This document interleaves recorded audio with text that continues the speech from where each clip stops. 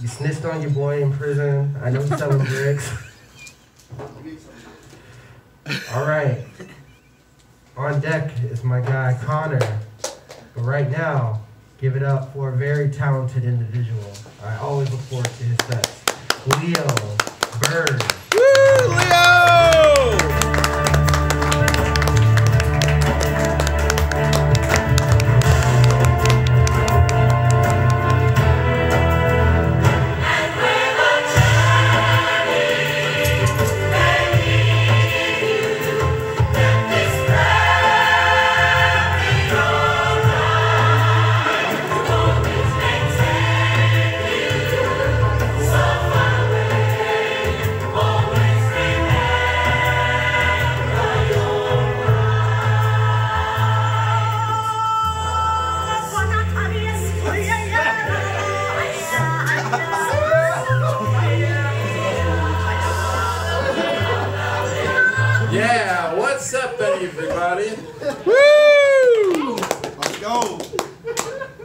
I thought that kids needed to be taught how to answer the question, what made you choose this profession at a younger age? So I created a new rule. For every present that is on your birthday or your Christmas list, you have to give the reason why you want it. So, this could also help reduce the impulsiveness that children can have. So I thought it was only fair to impose this rule on myself. I asked for a food basket because my current food basket is big enough only for apples, and when you mix apples with oranges, they ripen faster. Also, when you leave oranges on the table like this, it looks messy. I asked for a banana hanger because when you leave bananas on the table, they look bruised on the side you left them on, shown by these brown spots. Mm-hmm. Also, if you mix bananas with apples and oranges, they ripen faster. Also, the banana hanger looks neater than leaving it on the table.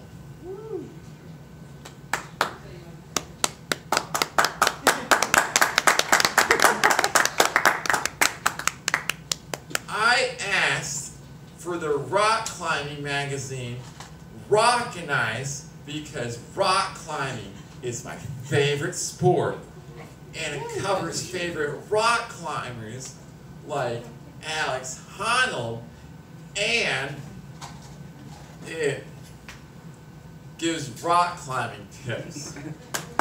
He reminds me of Heywood Banks. I asked for a new bathroom rug because when my mom saw my current bathroom rug, she thought it needed it to be washed even though I had just washed it.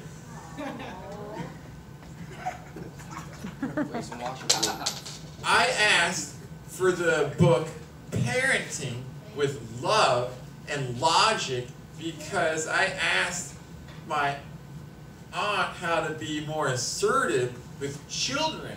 And she, and she recommended the book to me. Even if I never become a parent, I will be expected to play with my nieces and nephews, and it would open up the doors for volunteering opportunities like supervising children or the teaching profession that has been recommended to me. I asked for an ice cube tray because my freezer is broken with the ice cube maker, and the ice cube tray would be cheaper than having to fix it all the time. Mm-hmm. Facts. I did.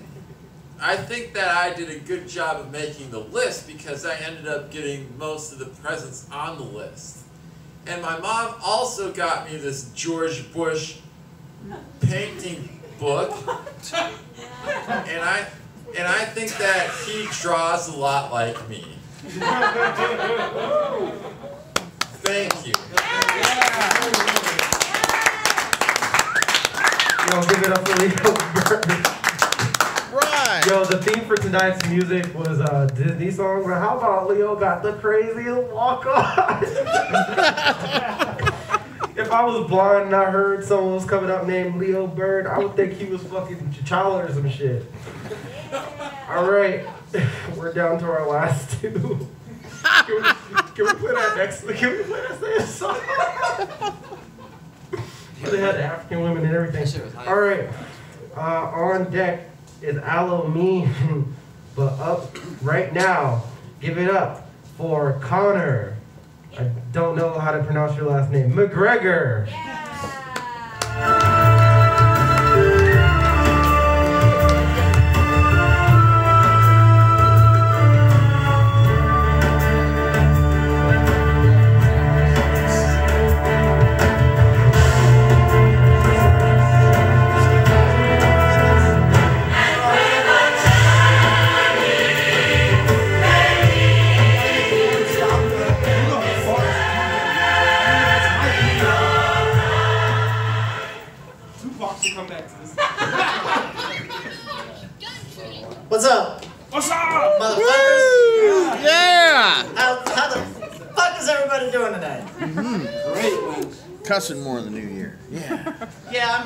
saying fuck a lot tonight. All right. Deal with it, Jeff. Woo!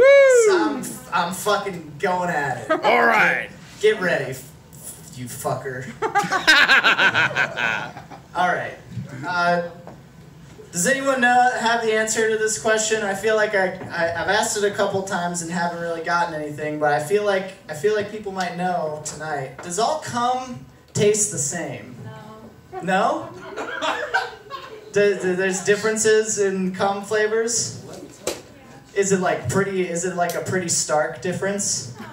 No, like sub, it's like a subtle difference. Because I've tried my own cum before. That's that's that's that's where I'm going with this, and uh, it just it just made me think that uh, that maybe I should change some things in my diet. Maybe cut back on my cheese and salt intake. Is uh, this is kind of necessary.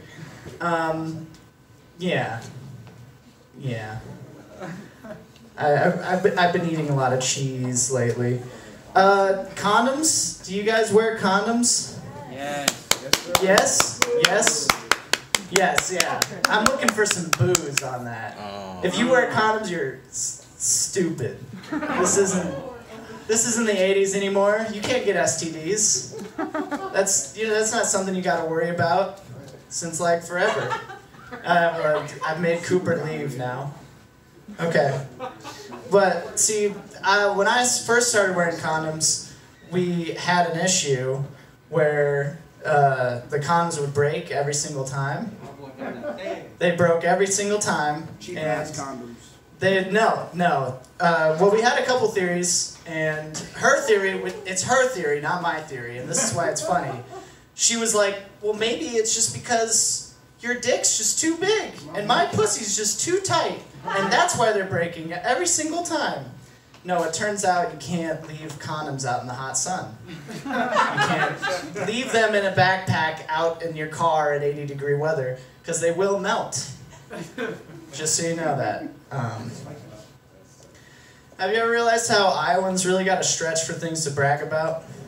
Like, other other states have like cool national parks. They got cool cities, um, and we're like, yeah, well, we have the best gas station pizza. Wow. Feces. If we so much as have uh, like a celebrity pass through our state, we do not let you forget it. Take for example the town of Winterset, Iowa. Winterset, Iowa is the birthplace of none other than John the Duke motherfucking Wayne, right? He was born there.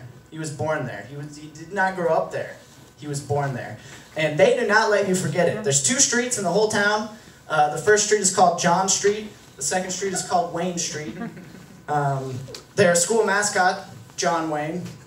Um, every little little shop, every little restaurant, they're selling John Wayne knickknacks. Now here's the issue I have with this. John Wayne played Genghis Khan. Now Genghis Khan is a Mongolian guy. John Wayne, not a Mongolian guy. So we need to cancel the entire town of Winterset, Iowa. And the way we're going to do that is we're going to get everybody on horses with flaming arrows and just have a good old fashioned Mongolian raid through the town. And that's how we're going to cancel the entire town of Winterset, Iowa. It's a stupid, pointless town. Yeah. Yeah. Have you ever realized how there's like a hundred thousand horses on the planet and zero, zero practical purposes for any of the horses? They are completely antiquated. Oh, well, how do I move my grain? Get a tractor, you stupid bitch. Oh, how do I travel long distances? Get a fucking car, okay? The, the, I mean, how much horsepower does a car have? Like 200? Something like that? Horses, one. one horsepower. Okay? Um, oh, what about show horses? What about race horses? There's, there, listen, listen. That's some billionaire, eyes wide shut, Illuminati shit. We're, ne- we're never going to understand race horses. Are, and is anyone here going to go to a horse race? No. No, we're not. Maybe I, maybe I shouldn't be too mean on that, but I, nah, that's that shit's for billionaires. Um, let's see, what else do I got? How's everybody been doing? Woo! Yeah, yeah. Uh, Did everybody have a good Christmas? Woo! Yeah. Okay. Um, oh, taking care of yourself. Have you realized how 20th century taking care of yourself is? You I don't. You don't need to take care of yourself anymore. They're gonna. They're gonna be able to build fucking any shit replacements for us. Like, oh, oh, you better. You better turn the music down so you don't destroy your ears, bitch. I'm gonna have fucking robot ears that'll let me hear ants fucking. Okay. Oh, you better be- better take care of your joints. Better joints. You don't want to have bad joints like that, motherfucker. I can't hear you over the sound of my exoskeleton. Uh, God damn it! That's all I got for you folks. Thank you so much. Well, give it up for Connor. I'm bored. Great job. This man said his comms keep breaking. I was like, my boy got that. Dang, all right, I see you. What? He was like, nah, science. All right, last comedian Woo! got champion on his on his hoodie. Oh. He's Oh. the people's champion. Give it up for Aloe Mean. You guys, you guys, thanks for hanging out. Sorry I was late. Um, I'm gonna call it. I'm gonna call it right now. I think this is gonna be my best set ever. So she looks up at me right in the eyes and says, "Listen, little nigga, if you don't like tacos or dogs, I'm not your bitch." My middle school lunch lady there. She's a really nice Korean woman from the south side, I think. She's not a fan of slow picky eaters. You guys, um, goddamn, Tina Turner's scary. You're right, man. The, the, the artist is a little bit off with some of these, but I, I get what he's going for. Willie Nelson there. Tina Turner's like uh, Barack, Baraka. What's the guy's name from Street Fighter? she scared the shit out of me just now. What's love? All right, I'm gonna go back to my act. You guys, I was uh, fat shamed the other day by myself. It's really passive aggressive to the way it happened. See, I was at the gym and I was lifting at the gym, upper body day, and I was feeling real jacked. Everything tight. Chest, back, arms, shoulders, everything real tight. You ever come from the gym and you feel like you're the rock, but deep inside you know you're more like the sponge? anyway, I go home, I take a shower, I get out the shower, I go to the mirror and wipe the steam off the mirror. Swipe, swipe, and that's where I fucked up right there. Second swipe. I usually just do one swipe. All I need to see is head and shoulders. Anything more than that will mess with what I got going on inside for myself. You see that second swipe happen, and I stopped moving, and my midi kept shaking, and it fucked me up. Now, if you don't know, a midi is a man titty. I've had them all my life. When I was a boy, they were biddies. But now that they have hair on them, they're middies. You understand? I don't want to talk about it. My midi kept shaking. Here's where the passive aggressive fat shaming happened. Without even thinking about it, I leaned into the mirror and I went, and I re-steamed the mirror. Because I, I had seen too much. You know what? Fuck it. I shouldn't have any fat shaming going on. I was born and raised right here in Iowa. And I don't know if you guys notice about this great state of ours, but we are number one in two things and two things only hog production and corn production. Now, the hog production, it speaks for itself. You are what you eat. And I love bacon and fried pork fritters like everybody else. Corn production, you might be saying to yourself, corn on a cob never hurt anyone. Well, I would say to you, that's not the kind of corn we grow here, dummy. We grow our corn for ethanol and food product. And I don't mean just corn tortillas, corn flakes, or corn chips. I'm talking about high fructose corn syrup. Obesity's best friend. So in Iowa, we shouldn't fat shame anyone. We should actually be fit shaming people. So if you have a six pack, you're not supporting the local economy, are you? You need to get the hell out. Take that shit to Southern California for your good choices, your kale, quinoa, Pilates, CrossFit. Do CrossFit out there. So I'm married. Woo! You guys are good people here. I was in Rock Island and they were like sorry when I said I was married. It's fucking degenerates. They're probably right though. I don't know if you can tell, if you can see my black wedding band, it might kind of blend in with my skin a little bit. More so in the summertime, if I'm out in the sun a lot, I tend to get real dark. You ever heard the phrase, the blacker the berry, the sweeter the juice? This guy has. Mm-hmm. Well, in the summertime, my juice goes from Capri Sun to ghetto Kool-Aid. And I'm sure most of y'all never had ghetto Kool-Aid, so I'll tell you this, from the months of June through September, if I come in your mouth, instant diabetes. Because that's how dark I get. My juice gets that sweet. That I don't even come semen, it's just high fructose corn syrup. I know what you might be thinking besides ew. But no, I didn't choose a black wedding band so I could hide it. I'm not trying to be a creep or nothing like that. I actually chose a black wedding band because I was in mourning for my dick. It's not so stupid. You know what? I'd like to give you guys some advice. This is very valuable advice that I shouldn't even tell you guys, but you're here and I appreciate it. So I'm gonna give you this free advice. Just keep it between us though. Don't tweet it. Don't gram it. Don't book it or talk it. Just keep it in your head. Here it is, free valuable advice for all of you. Suck my dick.